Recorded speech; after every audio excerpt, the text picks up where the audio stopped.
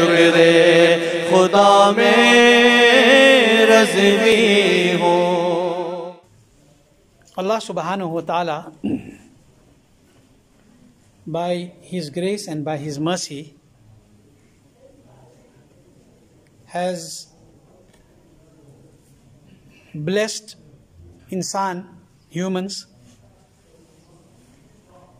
with being equal on the basis of humanity, but all humans have different levels.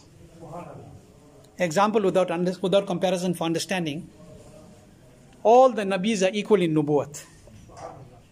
But there are those amongst them who have been given greater excellence over others for understanding purpose. And the Imam of all the Nabis is Muhammadur Rasulullah. So as humans, we are blessed because we are believers. Because we have Iman.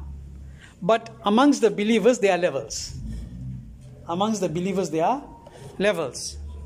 There are those like sinful servants like myself and beggars like myself.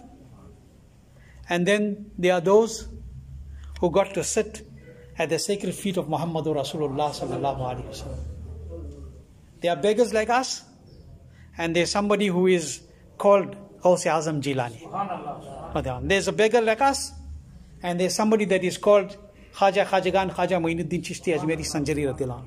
There's a beggar and sinful people like us, and then you have that personality who will be leading the reins of the camel of the of the holy the, the holding the reins of the the holy uh, steed of the beloved Rasul sallallahu alaihi wasallam on Maidan Mahshar and entering Jannat al Firdaus. Who? Hazrat Bilal Habashi radiallahu ta'ala. And then there is Abu Bakr Siddiq radiallahu anh, Umar Farooq radiallahu anh, Osman Ghani radiallahu anh, Ali Murtada radiallahu anh. But amongst them, today we paying tribute to one of those special servants who has excelled by the command of Allah. Who? Hazrat Umar Al-Faruq radiallahu anhu. Because today is the Yom Shahadat. Is the day that Hazrat Umar Farooq left this dunya. Hazrat Umar Farooq radiallahu anhu, subhanallah, he is the critic. He is the critic who became an ashik. Hazrat Umar Farooq radiallahu anhu is the critic who became a ashik. He is that personality who was one of the most critical about Islam He was one of the most critical personalities about Islam and he was one of the biggest critics of Rasul Pak sallallahu alaihi wasallam in the days of Kufr. But then इजाबत का सहरा इनायत का जोरा दुल्हन बन के निकली दुआए मोहब्बत मोहम्मद इजाबत का सहरा इनायत का जोरा दुल्हन बन के निकली दुआए मोहम्मद और इजाबत ने झुककर गले से लगाया बढ़ी नाज से जब दुआए Mohammad that on one side there is this critic all his life he's been a critic of Islam and of Rasul Pak Sallallahu and then on one hand you have the beloved Nabi Sallallahu Alaihi Wasallam raises his hand and makes dua. And on this side the beloved Nabi Sallallahu Alaihi Wasallam is making dua. On the other hand Umar Farooq sword in hand. Is saying that today I'm going to end the chapter of Muhammad. Today I'm going to end the chapter of Muhammad sallallahu alaihi wasallam. He goes with the sword in his hand. His intention is to, Allah forbid, execute the beloved Rasul sallallahu alaihi wasallam. He goes with the sword in his hand. And on this side, on this side, the hand of Umar has a sword. And on that side, the hand of the Nabi is being raised in the court of Allah subhanahu wa ta'ala. And Hazrat Umar radiallahu anh says, today I'm going to end the chapter. Huh? That is why he's going End the chapter of the history of Islam. End the chapter of Muhammad ibn Abdullah. But then he goes towards the court of Muhammad sallallahu alaihi wasallam. और मेरे महबूब आंखों के तारे किस जगह तेरा जलवा नहीं है यूं तो देखे हंसी मैंने लाखों कोई तुम सा भी देखा नहीं है all the time Umar Farooq used to see Muhammad ibn Abdullah but when the hands of the beloved Nabi were raised Umar saw Muhammadur Rasulullah Umar Farooq saw Muhammadur Rasulullah sallallahu alayhi wasallam and when he enters the court of Nabi sallallahu wasallam as the Nabi has made dua for him then that critic becomes the ashik that critic becomes the ashik by the dua of Nabi Kareem sallallahu alaihi wasallam. And he thought that he was going to end in chapter, end a chapter. He was just starting a chapter. He thought he was going to end the chapter. He was just starting the chapter, the chapter of the Khalifa of Islam, Umar Farooq radiallahu Until Qayamat, more than 1400 years have passed already. And until Qayamat, the name of Hazrat Umar Farooq will be on the zuban of the Muslims. Why? Because he became that Ashik Rasul. That Ishq Rasul sallallahu alayhi wa was in Umar Farooq radiallahu Shaitan used to change paths. Shaitan used to change his direction when he saw Hazrat Umar Farooq. Itna dar, so much of fear for Umar Farooq. But when Umar Farooq used to raise his eyes and look the, at the Chahra Anwar of Rasul Pak, that Umar, that everybody feared his name, but when his eyes would be raised and he would look at the holy face of Rasul Pak, then tears would flow from his eyes. His heart became so soft and raqiq. Why? In the love of Rasulullah sallallahu. I shared a message this morning with those that I share, usually share a message to. I'm going to read that message to you today. I'm to read that because it is the word of Umar Farooq. And I'm going to end with that. That look at what Umar Farooq, that Umar Farooq who the world trembled when they heard his name. That Umar Farooq who shaitan changed his path. That Umar Farooq, Allahu Akbar. But you know when that Umar Farooq with all his jalal, with the haibat that he had, with his awe-inspiring personality, but that same Umar Farooq used to go at night in the house of a woman and clean her house. She was a paralyzed woman. He used to go and clean a house. Huh? He taught you how to serve those who deserve. He went and he used to clean a house. He used to do all our household chores. He used to sweep a house. Hazrat Talha says that I went one day and I asked, Oh, lady, who is this man? I see a man in the darkness of night that comes into your home. What does he come for? He said, I saw carefully. It was Umar. What does he come for? She says, He comes to serve me for I am not able to serve myself. She said, Talha, may your mother weep upon you. Become like him. Become like him. Do you know what he says? Hazrat Umar Farooq says, Weigh your deeds before they are weighed. Weigh your amal. Weigh your deeds before they are weighed. When? On the day of Qiyamah on Mizan.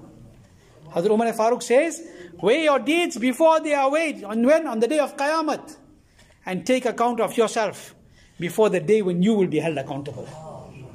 Take account of yourself before, weigh your deeds before your deeds will be weighed and take account of yourself before the day when you will be account, held accountable. He said, if you do this, then indeed it will be easier upon you compared to giving out accountability on the day of Qiyamah. Easier that you do it now than on that day. Change your lives. Who is saying this? Umar Farooq. Umar Farooq radiallahu ta'ala. He's saying that take accountability now. Because otherwise on the day of Qiyamah, hisab to dena hi hai. You have to give up. Nobody's going to be. I said this many times. Al-bir la yabla. والذنب لا ينسى والديان لا يموت اعمل ما شئت كما تدين تدان you hear it every Friday البر لا يبلى your good deeds will not perish والذنب لا ينسى and your sins will not be forgotten don't happen okay البر لا يبلى والذنب لا ينسى والديان لا يموت the one who will recompense never dies Allah is all existing. Do what you want. Do what you want. You will reap what you sow. What you do here, that is what Umar Farooq is telling us. He's saying, weigh your deeds before they are weighed. Hold yourself accountable before you are accountable there. Change, because Allah says in the Holy Quran, that day when all of you will be presented and when none of you who wants to hide will be able to hide. Nobody will be able to hide from the hukum of Allah, from the command and the judgment of Allah subhanahu wa ta'ala on that day. So Hazrat Umar Farooq, that grand, great Khalifa of Islam, look at what a beautiful message he gave. If all of us take that message, myself, you, if we take that message, and every day, if we weigh our deeds in the scale of, in the spiritual scale, Every day, if we hold ourselves accountable, what will you do? Why did he tell you weigh your deeds? Why did he give us this message? Why did he say weigh your deeds before they are weighed? Why did he say hold yourself accountable before you are held accountable? Why? Because when a servant does this, he'll make tawbah. When you do that, you'll make tawbah nasuha. Sincere tawbah. And when you make tawbah sincerely, Allah's rahmat will descend upon you. But to make tawbah also, He taught us in numerous riwayats, you'll see how. Make tawbah to the one whose dua brought Umar to become Umar. To the wasila of Rasulullah sallallahu. And Allah's mercy will descend upon you. Huh? What does the Quran say? And you have, if you have done injustice unto your souls, if you have done injustice unto your souls, then present yourself before Allah's Nabi. Present yourself before Allah's Nabi. Ask Allah's Nabi to repent, for, to, to, to seek intercession for you to ask for your forgiveness. And inshallah, you will find Allah to be most merciful. And give you the crux because time is less, the gist of the, of the ayat. Think about it. So follow the way of the Sahaba Ikram. love the Sahaba Ikram. Inshallah, dunya may be kamyabi, akhirat may be kamyabi. I'm going to end with this quick note. Dua for all those that are ill in the community. Abdul Rashid Bhai from Phoenix, uh, Sharafat Bhai, Sharafat Rauf, uh, our Yunus Bhai Baba from Road, uh, Janab Abdul Ghaffar Osman, Asya Hanif, and all the others were ill and we, we know and we don't know amongst Ahlul Sunnah. Allah grant all Shifa Kamil Sayat Ajil.